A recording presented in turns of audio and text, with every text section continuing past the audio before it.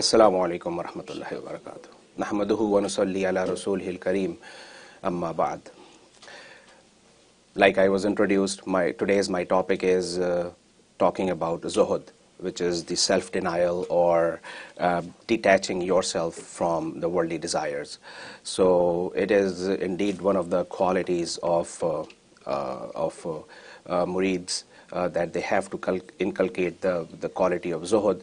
Uh, but more than that, it is the basic requirement to be a murid, to be a salik in the path of Allah subhanahu wa ta'ala to attain this quality of zuhud. Uh, zuhud works as a backbone in all of your efforts towards attaining nearness to Allah subhanahu wa ta'ala. If you have all other qualities of being a salik and attaining nearness to Allah subhanahu wa ta'ala, but you don't have the quality of zuhud in you, you are not able to attain that nearness to Allah subhanahu wa ta'ala. Now, what is zuhud? Zuhud, in simple words, is detaching yourself from the extra desires of this world. The basic requirements are given Uh, uh, have to be fulfilled by everybody in this world but anything wanting anything beyond that like wanting surplus things in your life and indulging over indulging yourself in those desires and addressing all those luxurious desires in your heart and mind and always working towards them is prohibited and this is against zuhud. So zuhud is basically uh, committing your, yourself to the bare minimum in this world which is just enough for you to pass a comfortable life in this world uh, without which will not uh, distract you from uh, attaining the higher goal, which is the attaining nearness of Allah subhanahu wa ta'ala. Uh, uh, Quran Majid, uh, Furqan Hamid clearly, you know, points at this fact uh, in one of the beautiful ayat, لِكَيْ لَا تَأْسَوْا عَلَى مَا فَاتَكُمْ وَلَا تَفْرَحُوا بِمَا آتَاكُمْ You should not grieve over what is lost from you. Point. Uh, pay attention to this fact. Allah is guiding us. In this world, you should not grieve over anything that has been lost from you, nor you should rejoice in what has been given to you. You remain indifferent to these things which are coming and going in from your life. Uh, you know, in uh, in other beautiful ayat, Allah Subhanahu wa Taala points at the fact uh, that life is uh, in this world is nothing but a fleeting enjoyment. It's a very short and passing pleasure that comes to you, and it will be taken away from you. So don't put all your heart and soul in this temporary uh, mode of uh, enjoyment, which is going to vanish from your life soon.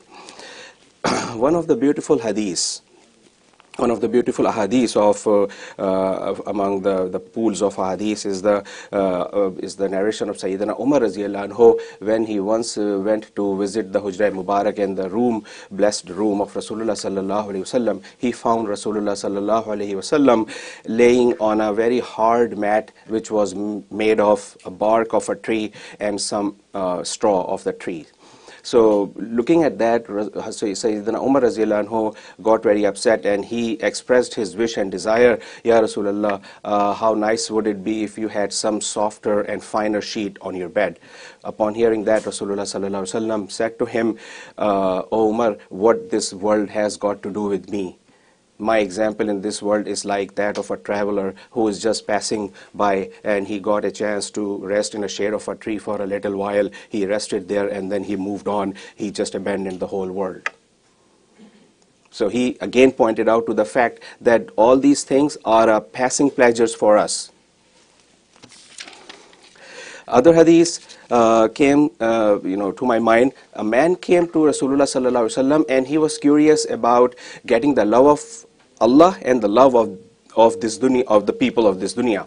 So he asked Rasulullah sallallahu alaihi wasallam, "Tell me of some some action that if I perform will cause Allah to love me, and also will cause all these people around me to love me."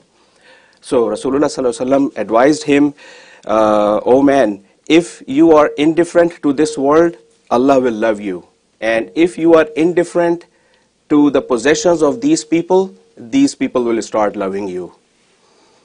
So a zahid, this is the definition of zahid, that he, that he is indifferent, he is not moved by the possessions of other people. Somebody owns luxurious things in the life, you are not moved by that. You are working towards a better and a higher goal than him. He is just contented on that small kingdom that he has acquired in this world, which he is going to lose anyway. You are not moved by that. So Rasulullah said that if you want to get the love of these people, you know, you should be indifferent, you should not pay any attention or you know, not give any importance to what they possess. Third hadith, after Allah subhanahu wa ta'ala created this world, He and He ordered the, this earth. Listen carefully, this is very beautiful and important. That Allah, uh, after Allah subhanahu wa ta'ala created this world, He ordered the earth. That, listen, if uh, if somebody serves me, like Allah is telling the earth, if somebody uh, serves me, serve him. And if somebody is serve you, make him your servant. So it's up to us. Like if we want to serve Allah subhanahu wa ta'ala, the entire universe will be will come in our favor and it will start to help us out. Right? And it will become our servant. Instead of us serving it and become a servant for uh, this world.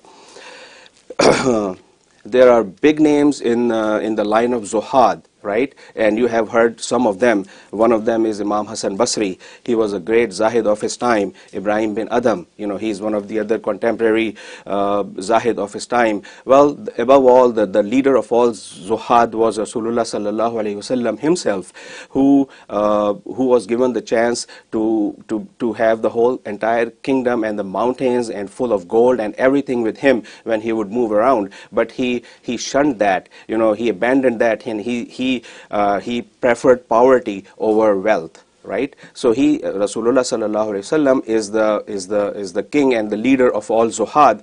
Uh, even him uh, he he would uh, he would also adorn good clothes you know, especially on special occasions when other, you know, people would come and visit him from other delegates uh, of the world. Uh, he would adorn himself at the time of Eid. He would adorn himself at the time of uh, uh special occasions. Uh, so he would not completely shun this world, but he just tried to, you know, refocus our mind so that we could just, uh, you know, focus towards a better and higher goal. Um, Talking about the, the, the, the, the station of Zuhud, the maqam Zuhud, it is agreed upon by most of the Sufi uh, people in the world that there are seven major stations or maqamat uh, which uh, a Sufi and a Salik has to go through to attain nearness of Allah subhanahu wa ta'ala and maqam Zuhud is one of them. Uh, the other, you know, very important stations which are all agreed upon by all Sufis are maqam Tawbah, the station of Tawbah and repent repentance, uh, the second station is Maqam Wara, uh, the station of the fear of the Lord Himself, not fear of the uh, not fear of the hellfire, but the fear of Lord. That if we don't follow Him uh, fully, we may lose Him forever.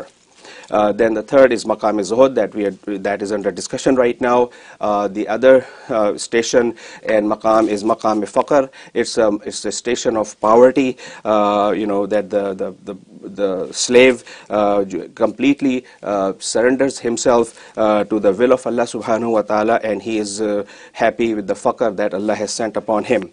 Then next is the Maqam Sabr, the station of Sabr, which is again a very very important station, and it is a station of steadfastness that uh, uh, Allah subhanahu wa ta'ala, uh, for Allah's will, he remains steadfast upon whatever circumstances befall him. Then the sixth one is the maqam tawakkul or the station of uh, uh, trust and surrendering totally to Allah subhanahu wa ta'ala. And finally maqam raza, where the person has totally submitted himself to the raza of Allah subhanahu wa ta'ala. Hazrat Sayyidina Bayazid Bastami, rahimahullah, rahimahullah ta'ala, he is again one of a very big names in uh, Sufi lineage and also in uh, Zuhad, among Zuhad. Uh, uh, once upon a time, uh, a person asked him, uh, Ya have you ever been rendered speechless?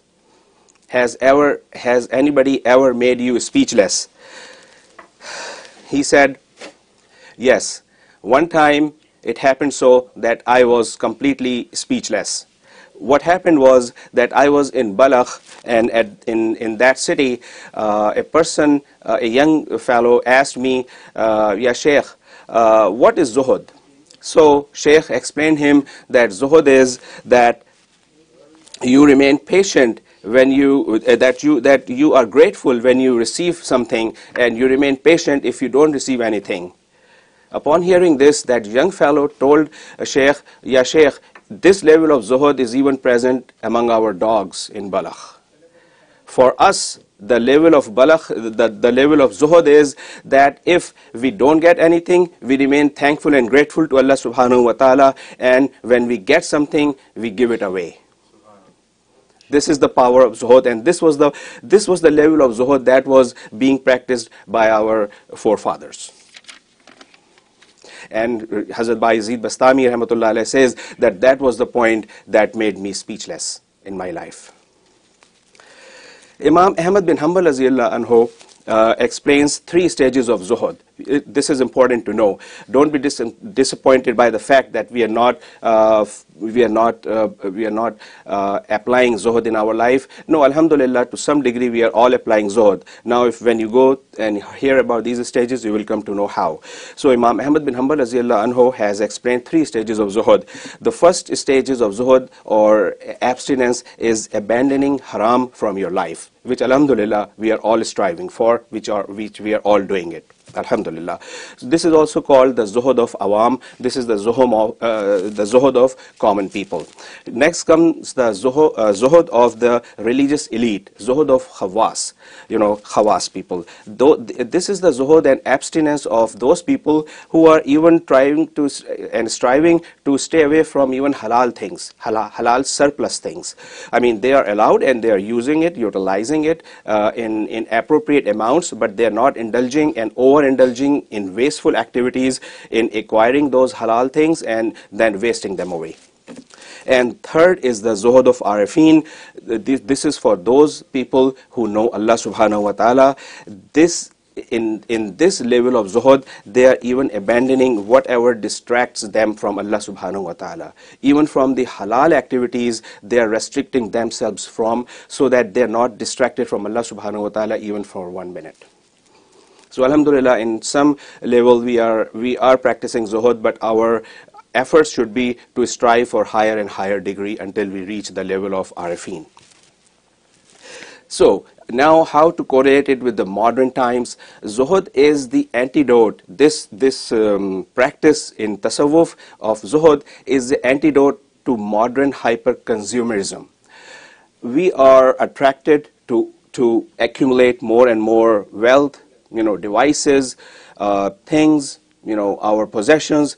Uh, we are not contented on uh, accumulating one or two pair of shoes. We are we have to buy ten pair of shoes, which I'm seeing among teenagers and you know even you know elderly people that they have number of shoes, number of watches, number of glasses, number of clothes and stuff like that, which is over and beyond their needs. So this is hyper-consumerism and this is basically consuming us away from the the, the, the bigger goal. So Allah subhanahu wa ta'ala, we have to have this iman that Allah is the uh, source of all strengths. These things, these devices, these uh, you know modern things are not the sources of strength. Only when Allah wills, Allah puts the strength in these things. So don't get yourself consumed in acquiring the things. You may see that whenever whenever there's a time to launch the new device or new shoes or new cars, there's long, long, long lines outside their uh, vendors. Uh, and that is just consuming away the, the, the, the, the, humanity and they're wasting away their times and, you know, energies and money without, you know, without any extra gain. So, if we want to really acquire the nearness of Allah subhanahu wa ta'ala, our utmost duty is to suppress our evil inclinations uh, that, uh, you know, which incline us towards attaining dunya.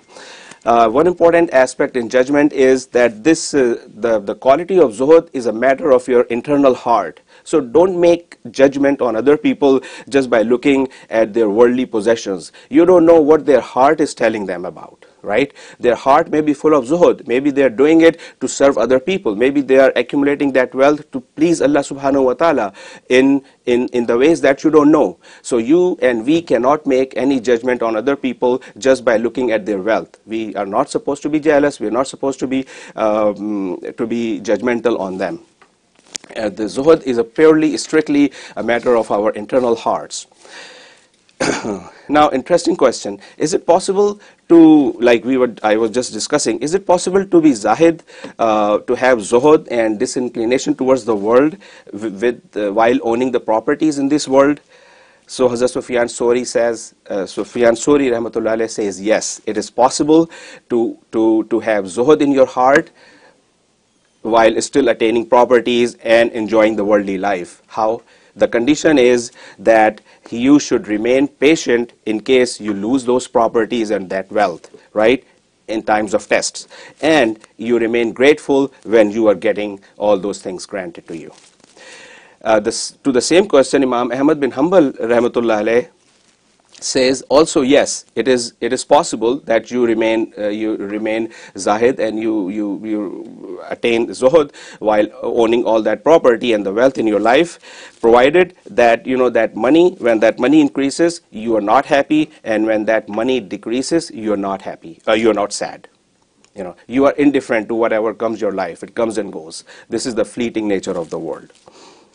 So you can own the world but the world should not own you that's the message of Zuhud. May Allah subhanahu wa ta'ala give us ability to practice Zuhud in our lives and better our lives. وآخر دعوانا أن الحمد لله رب العالمين